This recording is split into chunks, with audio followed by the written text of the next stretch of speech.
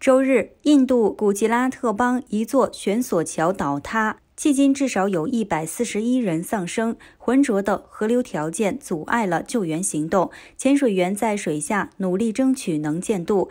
这座两百三十米长的英国时代人行天桥曾是当地的热门旅游景点，周日晚上倒塌，数百人坠入莫尔比镇的马赫湖河。据当地媒体报道，到目前为止，已有约一百七十七人获救。灾难发生后的第二天，作为救援的一部分，在河上看到了十几艘橡皮艇。但自周一中午以来，行动几乎没有取得进展。这条河的深度从三米到十米不等，还覆盖着水葫芦。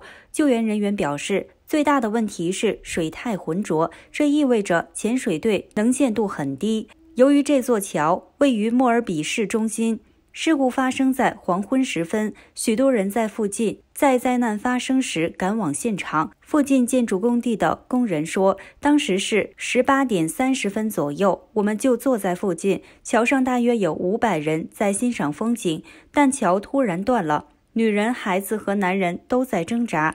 我看到有很多孩子掉进了水里，所以我和我的同事赶到桥上，试图拯救被困的人。我们设法拯救了大约二十到二十五人。一个小孩被带出来时没有了呼吸。这座桥因整修而关闭了七个月，直到十月二十六日才再次向公众开放。就在事故发生前几天。